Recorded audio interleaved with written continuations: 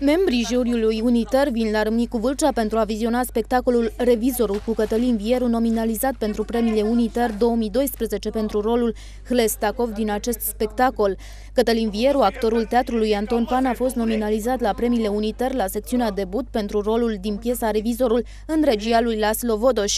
Mâine vâlcenii pot viziona piesa Doctor fără voie. Acest proiect teatral este realizat în cadrul parteneriatului dintre Teatrul Anton Pani Râmnicu Vâlcea și Teatrul Național Mihai Eminescu din Chișinău. Alexandru Cozub, regizorul spectacolului, este directorul artistic al teatrului din capitala Republicii Moldova.